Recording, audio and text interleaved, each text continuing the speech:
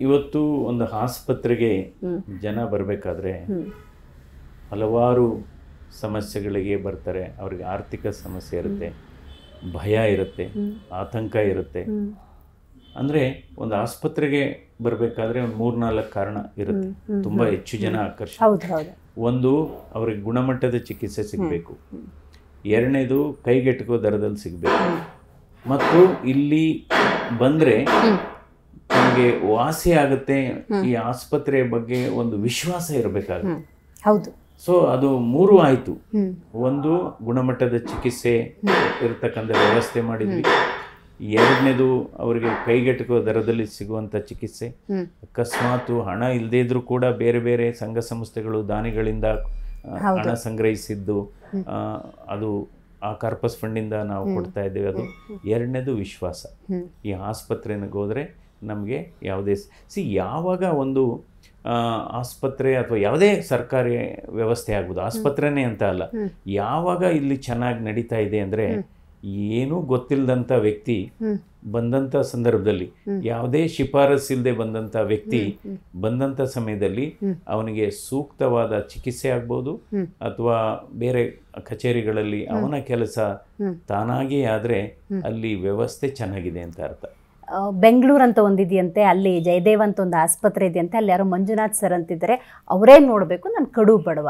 ಈ ಆಸೆಗಳು ಈಡೇರಿದೆಯಲ್ಲ ಸರ್ ಅದು ಹೆಂಗೆ ಹೌದು ನಾನು ನಾನು ನಿಜವಾಗ್ಲೂ ನನ್ನ ವಿ ಐ ಪಿಗಳು ಯಾರಪ್ಪ ಅಂದರೆ ಮಂತ್ರಿಗಳಲ್ಲ ಶಾಸಕರಲ್ಲ ಅಧಿಕಾರಿಗಳಲ್ಲ. ನನಗೆ ಬಹಳ ಹತ್ತಿರವಾದಂಥ ಬಹಳ ಪ್ರೀತಿ ಪಾತ್ರರಾದಂಥ ರೋಗಿಗಳು ಯಾರಪ್ಪ ಅಂದರೆ ಬಡ ರೋಗಿಗಳು. ಅವರೇ ವಿ ಐ ಪಿಗಳು ಸೊ ಹಾಗಾಗಿ ನನಗೆ ಯಾವಾಗಲೂ ಅಷ್ಟೇ ನಾನು ಹಲವಾರು ಬಾರಿ ಆಸ್ಪತ್ರೆಯಲ್ಲಿ ಓಡಾಡಬೇಕಾದ್ರೆ ಅಥವಾ ನಾನು ರೂಮಿಂದ ಹೊರಗಡೆ ಬರಬೇಕಾದ್ರೆ ನಾನು ಎಷ್ಟೋ ಸರಿ ಅಧಿಕಾರಿಗಳು ಇದ್ದಂಥ ಯಾರೋ ಬೇರೆ ಕಡೆಯಿಂದ ಬಂದು ಅವ್ರಿಗೆ ಹೇಳ್ತೀನಿ ನಾನು ರೌಂಡ್ಸ್ ಮುಗಿಸಿ ಬರ್ತೇನೆ ಐದು ನಿಮಿಷ ಅಥವಾ ಒಂದು ಅರ್ಧ ಗಂಟೆ ಆಗಿ ಆದಮೇಲೆ ನೋಡ್ತೀನಿ ಅಂತ. ಅದೇ ಯಾರು ಕಡು ಬಡವರು ನಿಂತಿದ್ರೆ ನಾನು ಅಲ್ಲೇ ನೋಡ್ಬಿಡ್ತೀನಿ.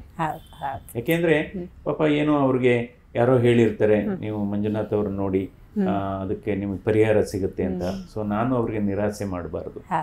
ಹಾಗೆ ಎಷ್ಟು ಸರಿ ಆ, ಕೆಲವು ಬಹಳ ಒತ್ತಡನೂ ಕೂಡ ಆಗುತ್ತೆ ಇದರಿಂದ ಏನಾಗ್ಬಿಡುತ್ತೆ ಎಷ್ಟೋ ಸರಿ ನಿಮಗೆ ಜನಪ್ರಿಯತೆ ಹೆಚ್ಚಾದಾಗ ಅಥವಾ ನಿಮ್ಮ ಸಾಧನೆ ಹೆಚ್ಚಾದಾಗ ಅದ್ರ ಭಾರ ಬಹಳ ಬೀಳ ಬೀಳುತ್ತೆ ನಿಮ್ಮ ಮೇಲೆ.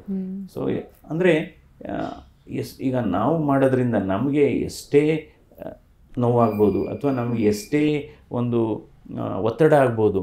ಬಟ್ ಅವ್ರಿಗೆ ಏನಾಗುತ್ತೆ ಅಂಥ ಸಂದರ್ಭದಲ್ಲಿ ನಾವು ಅವ್ರಿಗೆ ನಾವು ನಮ್ಮ ಒತ್ತಡವನ್ನು ಅವ್ರ ಮೇಲೆ ಹಾಕಿದರೆ ಅಥವಾ ನಮ್ಮ ಸಿಟ್ಟನ್ನು ಅವ್ರ ಮೇಲೆ ಸಿ ಹಾಕಿದರೆ ಅವರು ನಿರಾಸೆ ಆಗುತ್ತೆ ಭಾಳ ದೂರದಿಂದ ಬಂದಿರ್ತಾರೆ. ಸೊ ಈ ರೀತಿ ನಾವು ಮಾಡಬೇಕಾಗುತ್ತೆ. ನಮ್ಮ ಅದರಲ್ಲೂ ಕಳೆದ ನಾಲ್ಕೈದು ವರ್ಷದಿಂದ ನಮಗೆ ಈ ದೇಣಿಗೆ ಒಂದು ಸಮುದ್ರೋಪಾಯ ರೀತಿಯಲ್ಲಿ ಹರಿದು ಬಂತು ಸುಧಾಮೂರ್ತಿಯವರು ನಾರಾಯಣ ಮೂರ್ತಿಯವರು ಜಯದೇವ ಹೃದ್ರೋಗ ಆಸ್ಪತ್ರೆ ಈಗಿರ್ತಕ್ಕಂಥ ಆವರಣದಲ್ಲೇ ಮುನ್ನೂರ ಐವತ್ತು ಹಾಸಿಗೆ ಸಾಮರ್ಥ್ಯದ ವಿಶ್ವ ದರ್ಜೆ ಆಸ್ಪತ್ರೆಯನ್ನ ಕಟ್ಟಿಕೊಟ್ಟಿದ್ದಾರೆ. ಅದು ಕೂಡ ಅದ್ಭುತವಾಗಿ ನಡೀತಾ ಇದೆ. ಅವ್ರು ಕೇಳಿದ್ದು ಒಂದೇನೆ ನನಗೆ. ನಿಮಗೆ ಸರ್ವಿಸ್ ಎಷ್ಟಿದೆ ಅಂತ. ಆ ಸಂದರ್ಭದಲ್ಲಿ ನನ್ನ ಸರ್ವೀಸು ಮೂರು ವರ್ಷ ಆಯಿತು. ಹಾಗಾದರೆ ಕಟ್ಟಿಸ್ತೀವಿ. ಯಾಕೆಂದರೆ ಮಂಜುನಾಥ್ ನಮಗೆ ಸರ್ಕಾರದ ಮೇಲೆ ಅಷ್ಟು ನಂಬಿಕೆ ಇಲ್ಲ. ನಿಮ್ಮ ಮೇಲೆ ನಮಗೆ ತುಂಬ ವಿಶ್ವಾಸ ಇದೆ. ಅದು ನಿಮ್ಮ ಅವಧಿಯಲ್ಲಿ ಮಾಡಿದರೆ ಸದ್ವಿನಿಯೋಗ ಆಗುತ್ತೆ ಅನ್ನೋ ಮಾತು ಹೇಳಿದರು. ಸೊ ಹೀಗಾಗಿ ಇವತ್ತು ಹಲವಾರು ಧರ್ಮಸ್ಥಳದ ವೀರೇಂದ್ರ ಹೆಗ್ಡೆ ಅವರು ನಿರಂತರವಾಗಿ ದುಡ್ಡು ಕೊಡ್ತಾ ಇದ್ದಾರೆ. ಪ್ರತಿ ವರ್ಷ ಎಪ್ಪತ್ತೈದು ಲಕ್ಷ. ಆದಿಪರಾಶಕ್ತಿ ಟ್ರಸ್ಟು ದೆನ್ ನೀಡಿ heart foundation. Health healthy heart association lions club rotary club ಅದು ತುಂಬ ಪಟ್ಟಿ ತುಂಬ ದೊಡ್ಡದಿದೆ. ಸೊ ನಾವು ಕೂಡ ಈ ಹಣವನ್ನು ಬಹಳ ಪಾರದರ್ಶಕತೆಯಿಂದ ಉಪಯೋಗಿಸ್ತಾ ಇದ್ದೇವೆ.